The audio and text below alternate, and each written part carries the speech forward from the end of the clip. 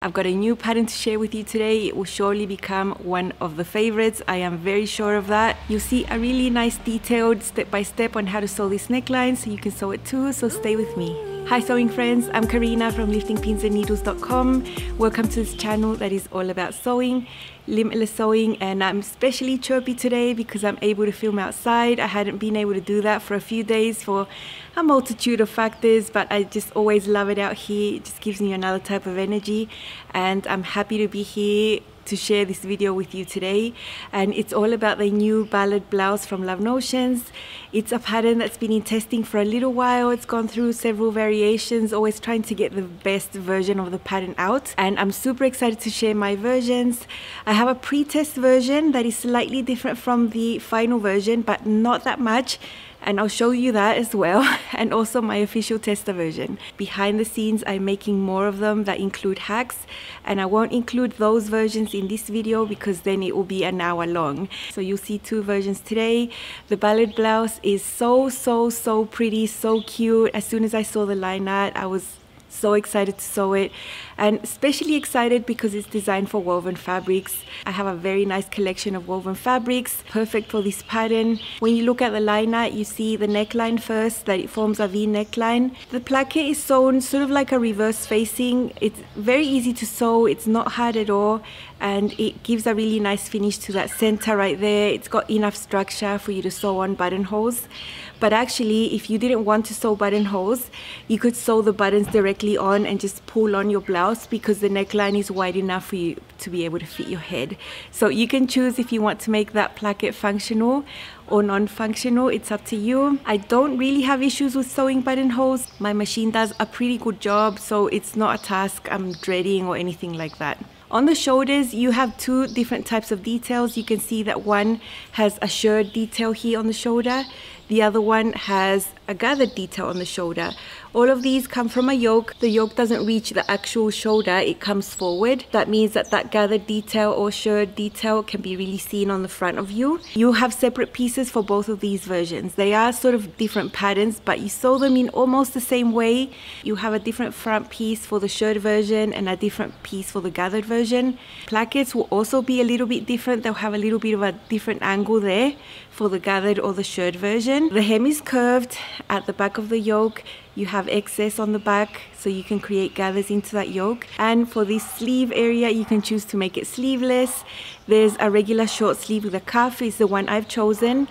You can have a flutter sleeve. There's a puff sleeve that's short and has a little slit in the center with ties that you make with bias binding. I think that's really cute and then you have a long bishop sleeve so five sleeve options there which is amazing because you can make them in so many ways and you can have so many of these made up in your wardrobe and they can look pretty different. Woven fabrics are the way to go and as usual I sort of in my mind sort of separate the types of woven fabrics that will be nice you want lightweight fabrics and there's the flowy types of course and then you have some that are very light as well but are not flowy they don't drape very well. And it might be a style that you're sort of going towards so in the flowy types you can make it out of a linen blend. I love my linen rayon blends and I've actually chosen that for one of my versions. 100% rayon a really nice flowy crepe. A really lightweight tencel would also be very nice if you want to go fancy, you can maybe do some silk, although I think it would be a bit harder to work with with the placket, but not impossible. And then as for the lightweight wovens that are a little bit more structured, you can go for lightweight cotton, cotton lawn, cotton gauze. Wow, that type of fabric, maybe a light chambray. A broderie anglaise will be nice if it's nice and lightweight. I know I have some in my stash that are very heavy. I would not use those, but it's up to you. Your woven fabrics will be great for this, the ones that you have in your stash. In my case, I have combined fabrics for both of mine. I love doing that. I've chosen a rayon linen blend for one and 100% rayon for the other, but both of them have linen plackets just because I just wanted to do that and why not? I had the linen for it, so I went for it. One fabric I would avoid for this is crinkle rayon. I know it's a really nice fabric to look at and to touch and it's got a really nice texture when you see it, but just the fact that you need that placket interface, you do need some precise sewing going on in there and crinkle rayon is the type that's going to stretch out in the form and not that it's not doable but I know it would give you a really hard time so I would avoid making this ballad blouse in a crinkle rayon at all costs. Because this is a new pattern, all the sizes are included from extra small to 5X. That'll go up to a bust of 57 and a half inches and a hip of 59 and a half inches. This blouse is meant to be relaxed fit. You are meant to choose your size based on your high bust so that your shoulder fit and all this upper chest area fits you really well. And then you have a standard bust and a full bust option. If the difference between your high bust and your full bust is four to six inches, the full bust piece will give you a better fit. And just keep in mind that the full bust piece also gives you an extra two inches of ease at the waist and at the hips. If you have a larger bust but you feel that you don't need all that ease at the waist and the hips, you might want to blend into a smaller size at the waist and hips. It's up to you, but at least you know you have enough space for your bust right there. Depending on the size you choose and what type of bust option you choose, you could have anywhere from six to nine inches of ease around the bust and about 5 to 6 inches around the hip. The length, if you measure from the nape of your neck down to the hem, is about 26 inches. Considering that and what I prefer, also looking at the reference in the pattern where you have the notch that reaches your waist, that was too high for me and that's just because of my height discrepancy. I'm just 3 inches taller than the 5 foot 5 that Love Notions drafts patterns for, for that height. So I add length between the bust and the waist, one and a half inches so that it makes sense and the shape of the blouse will make sense for my proportions. Depending on the height that you are, whether you want to make length adjustments or not, you might find that it looks longer or shorter on different people. That's the only fitting adjustment I make, but just that's just a length adjustment. Because the ballad blouse is a brand new pattern, it is 25% off for the first week. So you'll find it at a discounted price until the 16th of May. If you like the style, the release week is always the best week to get it for a little bit less. I will leave you my affiliate link down below in the description box. Also, a link to my blog post has all the pictures if you want to see more details about it. My blog posts always have this video embedded in there as well, so it's really easy to search and find patterns on my website if you're looking for something specific. So I'll leave you all that information down below. Purchasing through my affiliate link doesn't cost you anything extra at all, but I receive a small commission from that sale that helps support the work that I do here on the channel. So if you do use that, thank you so much. As for a really important sewing aspect of this top is that you have different seam allowances in the pattern and I think it's great. so basically on the side seams and on the seam of the sleeve, if you're sewing a sleeve, you have half an inch seam allowance and the reason for that is to allow you to sew French seams. It's a really nice finish for lightweight woven fabrics and you might want to explore and do that to give your blouse a really deluxe finish inside. So having that half an inch there means that you can sew your first pass with the fabrics wrong sides together at a quarter of an inch, flip, put your fabrics right sides together now and then sew the second pass at a quarter of an inch and that will give you the correct seam allowance for that. As for the rest of all the sewing, when you're attaching the yoke or the neckline placket areas, that is 3 eighths of an inch. That is actually the best seam allowance to be able to sew those areas accurately anything that's got to do with necklines, you really don't want to be sewing more than 3 eighths of an inch seam allowance. It just gets harder. So I'm glad that both of the seam allowances are there. Just be mindful that the side seams and the seams of the sleeve have a slightly larger seam allowance. So if you don't want to do French seams, that's fine. Just sew it with half an inch seam allowance and then just serge the edges. In my case, I didn't do any French seams and I just sewed it at half an inch and then when I was serging my edges, I just trimmed it off a little smaller so I don't have all that bulk inside. What you'll see in Up Close and Sew Personal is an overview of all the pattern pieces. I am sewing the gathered shoulder version, so that is the one I'm showing you in this video in the context of that version, of course. And you can see how to sew the placket. Now the way to sew the placket will be the same whether you're sewing the gathered shoulder version or the shirred shoulder version. The way that you sew it will be exactly the same. So you'll see in detail how to sew that, how easy it is. If you've never sewn a woven top with a button band, the placket, this is a very easy one to do and you'll be able to see exactly how to do that. And I've also added in there a little segment about the short sleeves and the cuffs. It is a little extra detail there that you might want some more input into if you want short sleeves with cuffs. So let's see.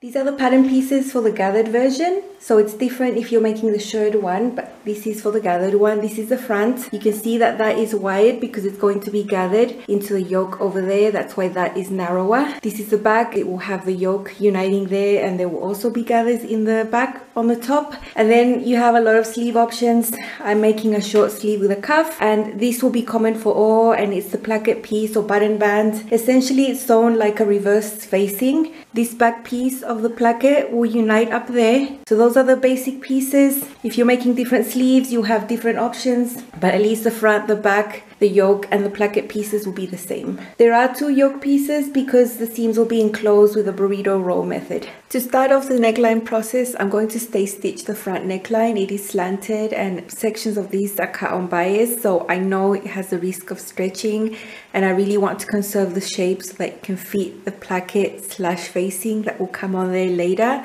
So I'll just use a straight stitch, normal stitch length, and I'll sew within the 3 8 seam allowance on both of these. On the back yoke pieces along the top, I will also stay stitch because that's also part of the neckline and I'll start from the shoulder and sew up to the middle. That's so I can avoid the neckline from stretching more to one side than on the other and I'll repeat that for both of the yoke sections. This is the top of the front pieces where the gathering stitches will go and from the center front out I have a line with a chalk that is 1 and 3 eighths inch inward. I don't want to gather there because this is where the placket is going to go and I want that area to be nice and smooth and not have bulks of gathers under there. Also on the other side, there's another little chalk, which is a seam allowance to sew on the sleeve. I also don't want gathers there. So I'll basically be doing the gathering stitches between these two white chalk marks. If you're doing the shirred version, it will be a complete different process, but in this video, you're seeing the gathered version. I'm doing two parallel rows of stitching with a 5.0 stitch length. The first one is at a quarter of an inch from the edge, and the second row is at half an inch from the edge. That means I'll have quite a nice gap there to do my gathering. And when I sew this onto the yoke with 3 8 seam allowance, the gathers will be in between that and it'll be a much more stable and neat gather. These are the placket pieces and you need to have them in this shape. I have written are there so you know that that's the right side of the fabric. Of course these are right sides together and you have the back one on the top matching at the shoulder seams. So we are just sewing these short little seams with a 3 8 seam allowance both of these very short seams. On the outer edges of the placket you'll see that there's a little angle. I'm making a dot where the intersection of seams would be at 3 eighths of an inch. I'm then going to do a guide stitch so that it would be easy for me to press the seam later on. This outer edge will be pressed inwards before sewing the placket onto the blouse and it will make it so much easier than trying to do it later. There is a corner where I have done this guide stitch and I'm going to snip into there. Because it is a corner it's the only way that you're going to be able to press this neatly to the inside without causing any puckers. It will release the tension of that angle right there. So then I head over to the ironing board. I have my guide stitch at 3 eighths of an inch. I can remove this later and it will just help me press super accurately instead of just eyeballing that 3 eighths of an inch so this is done to the outer edge of the placket, not the inner edge. The inner edge is the one that's going to be sewn onto the blouse and I'm just going ahead and pressing that in.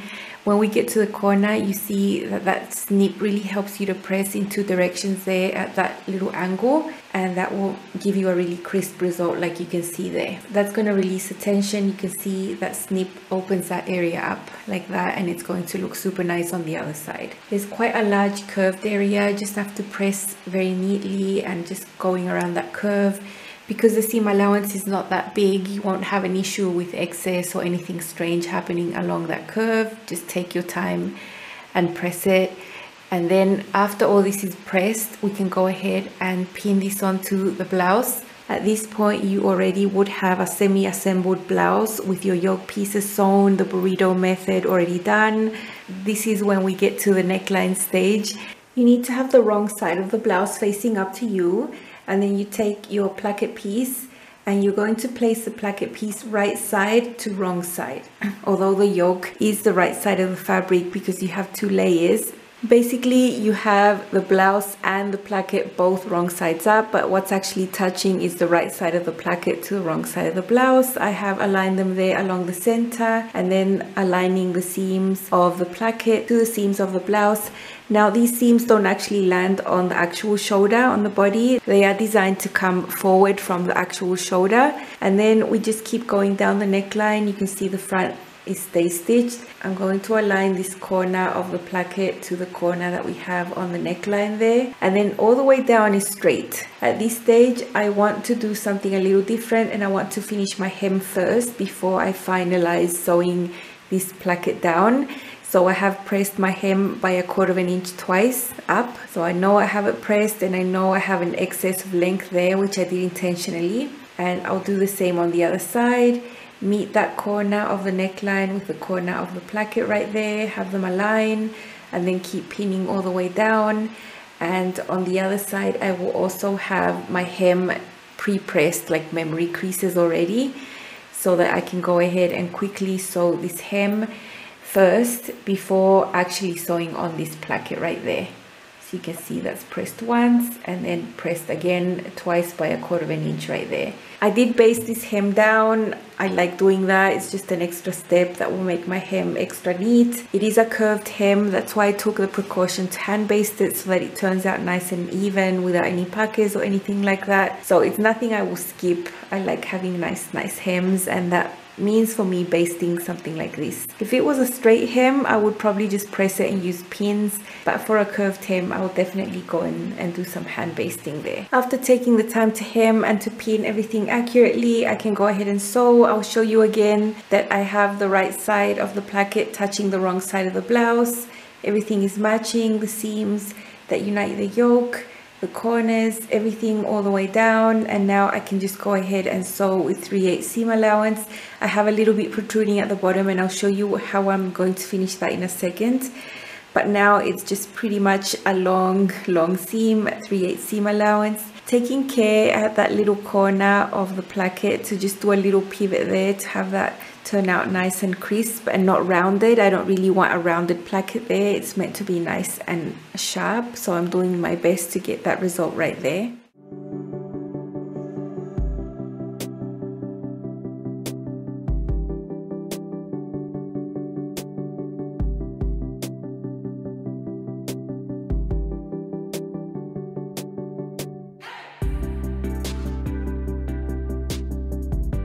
I like sewing necklines with 3 eighths of an inch. It's a seam allowance that is okay and I don't think I need to trim down further. Although I will do some snips where the neckline is rounded, especially towards the back. It's very round, so I'm snipping away every half an inch or so. And then of course we are going to do some understitching. That can't be skipped. That is always super important. Here you see the blouse, it's fully extended and the wrong side of the blouse is up we have the placket on the right side touching my right hand and the seam allowance is actually tucked underneath the blouse, not tucked in underneath the placket.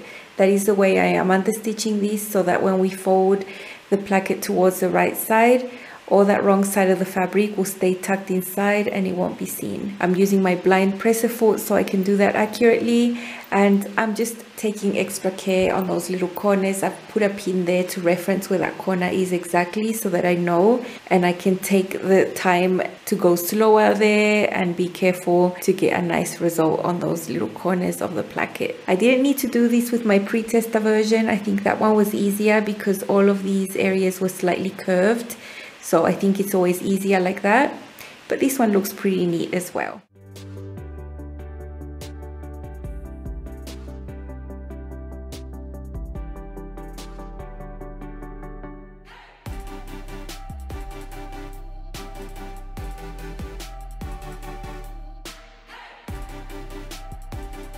Okay, now I'll show you what happens at the bottom. I'll just take a few pins out so you can see. This is the right side of the blouse. The hem has already been done. I had that little bit of placket protruding and I'm going to fold it up towards the right side of the placket, fold it and then fold it onto itself again. And that's how I'm going to have a really nice closed placket at the bottom. Now that edge at the very bottom that's open, I'm going to close that by hand and then I'll be ready to just top stitch this placket down.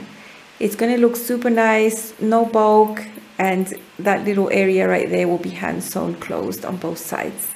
I did go through the iron first and press everything, flip that placket over to the right side so that everything is super neat, put pins while I was on the iron and then I went ahead and hand basted that down. That gives me the confidence that the placket will end up flat and nice and not pucker or move or shift anywhere and I achieve that best by hand basting and it's worth the two extra minutes it takes. I hand baste away from where I'm aiming to top stitch so that this thread can come out very easily. And again, I'm using my blind hem foot with the needle to the left to sew on the edge. It's a really, really nice finish. And because this placket is interfaced, it will give you the structure that you need to do your buttonholes in a little bit.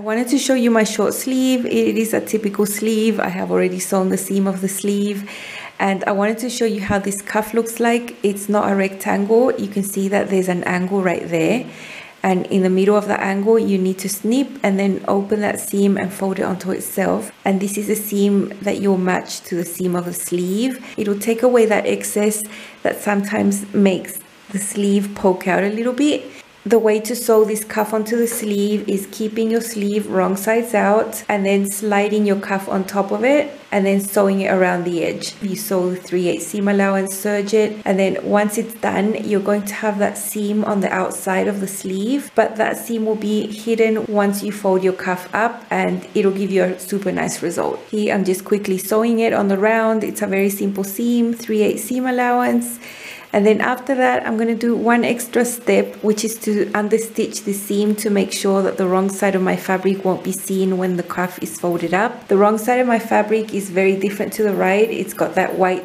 type of tone and I really don't want that seen.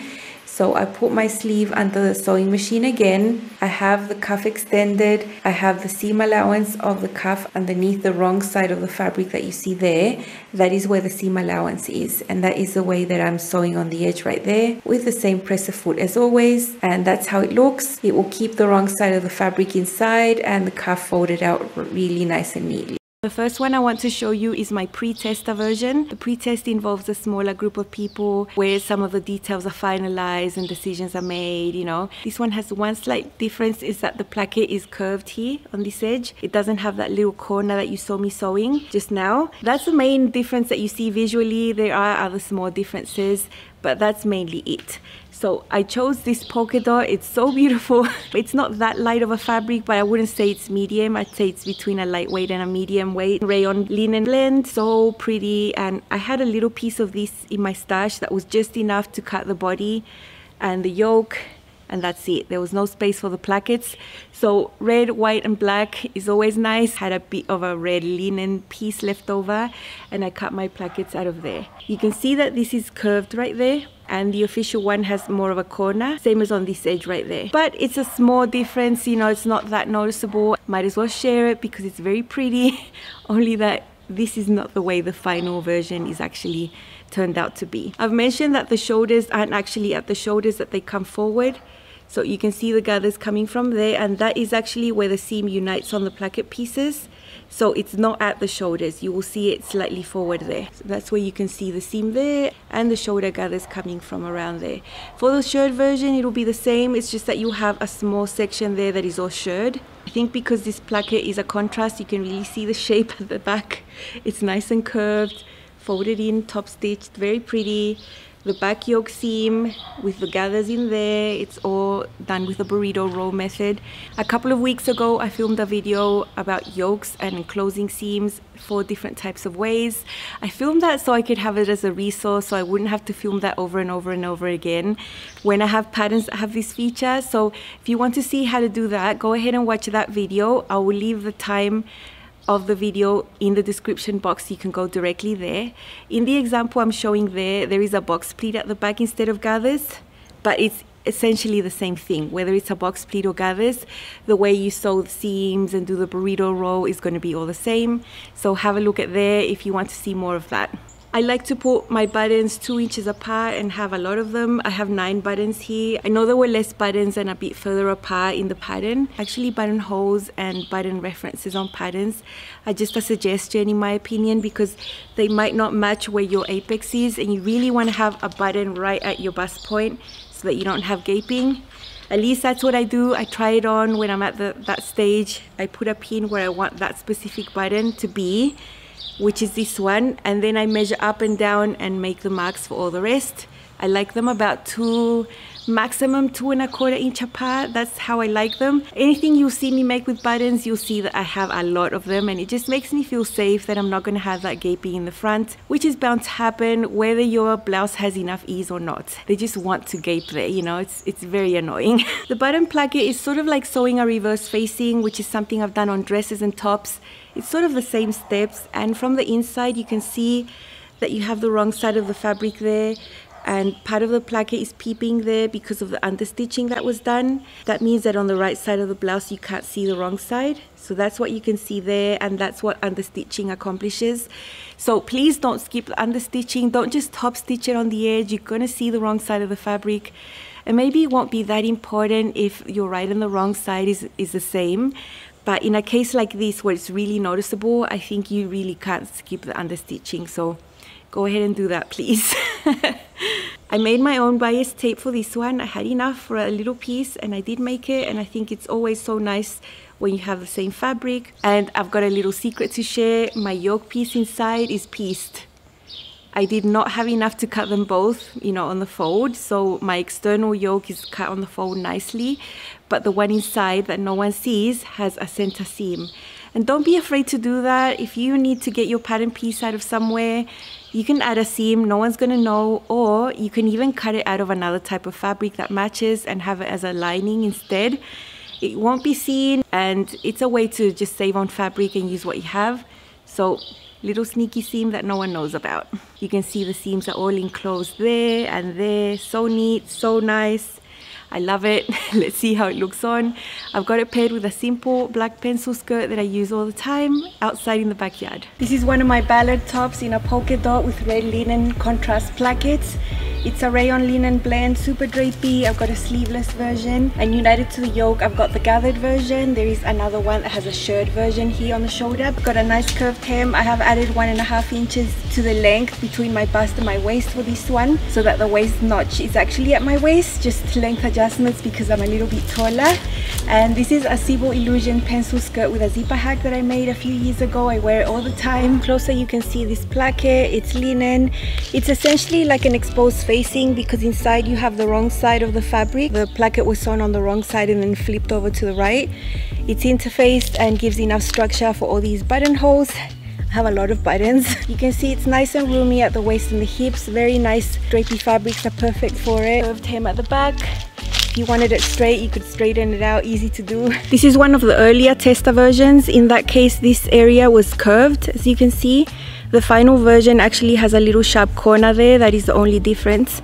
Otherwise, everything is sort of the same. It's lying nice and flat, it looks really, really nice. And the depth of this V is very appropriate, very nice. sleeveless armhole works perfect. I didn't have to adapt anything to make it sleeveless and have the cover that I like.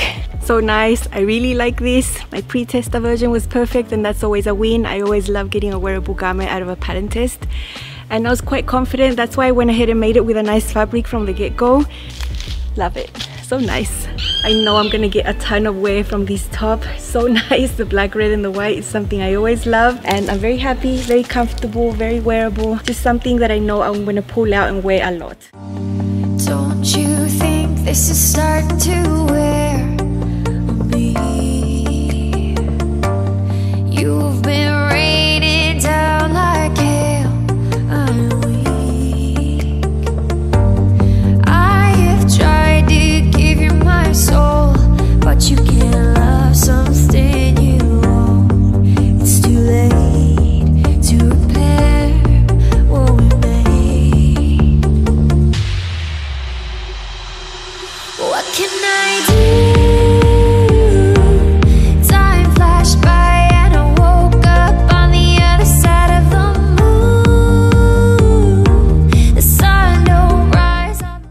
to make my official tester version out of a really special fabric and it was so hard to choose because I have so many of them.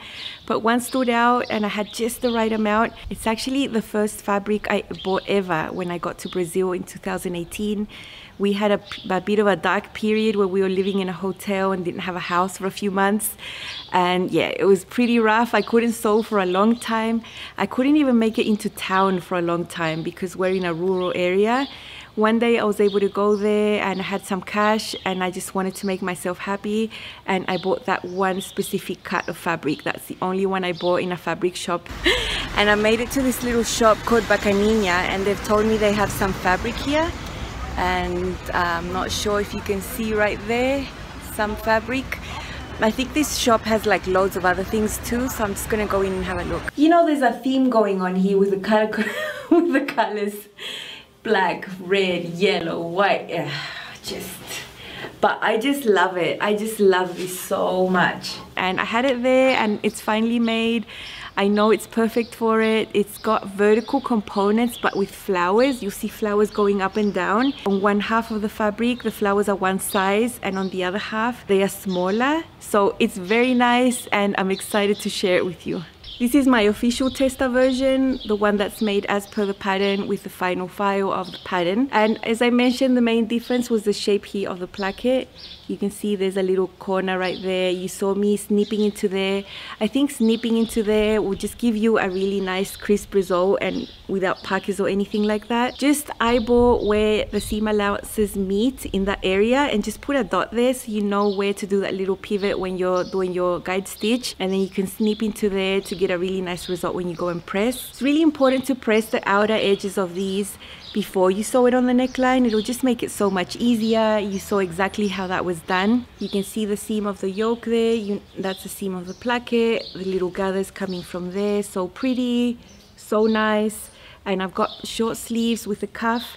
You saw that the cuff had a little angle and that's the angle that's in there.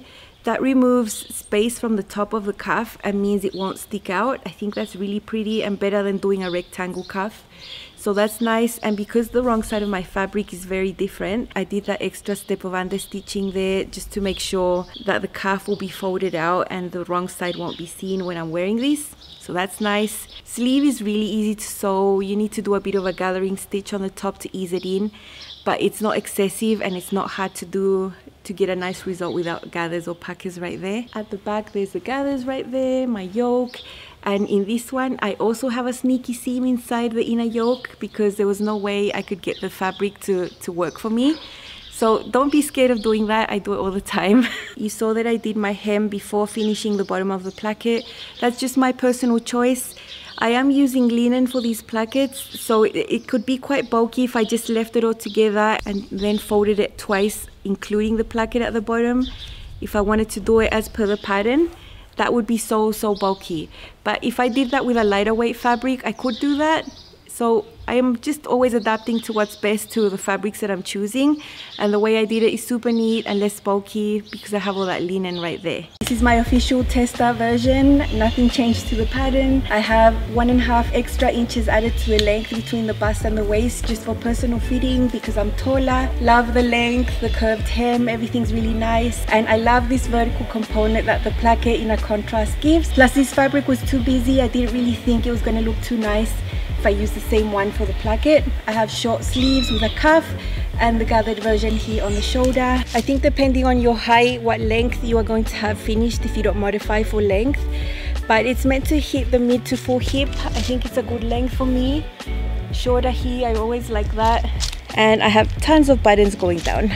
Here's the top of my ballad with the gathered shoulder, super nice into the yoke. I've got the short sleeve with a little cuff right there. It's hard to see the detail because it's printed, but the cuff is lying super flat against the sleeve because of the angle that this little section has that unites to the sleeve. I'm trying to show you the back yoke seam with the gathers coming from beneath. I hope you can see. This is how the placket looks up closer. Mine is linen. You could actually see it. I wanted to do that.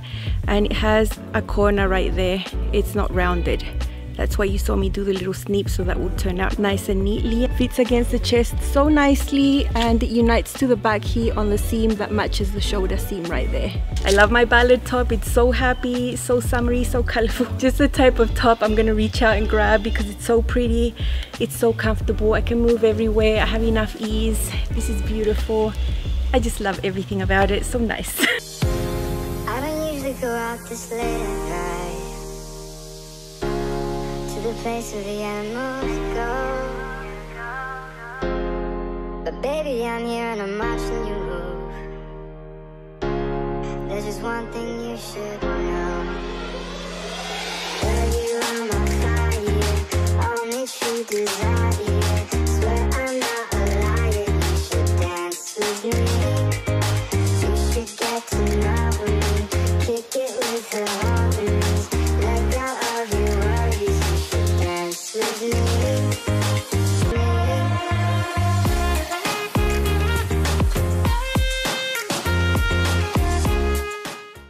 hope this video was fun to watch and I'm sure you're going to love this style as much as I've loved it. I know it's going to be a favorite and I'm going to end up making tons and tons.